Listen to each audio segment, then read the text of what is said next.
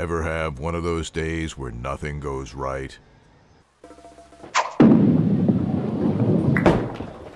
Crap. My turn. For Sammy, that's every day. There, huh? Probably just an old corridor. Hi, losers!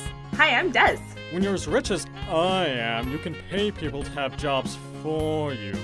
You're a kid. What do you know? Basic hydrodynamics. Alan, you can fly down! Coconut. Hello, I'm Virgil the Volcano. Nothing gives a man more pride than a nice, clean driveway. Loosen up and catch loose ends. If you would like to see more loose ends, consider supporting us on Patreon. Should I question this?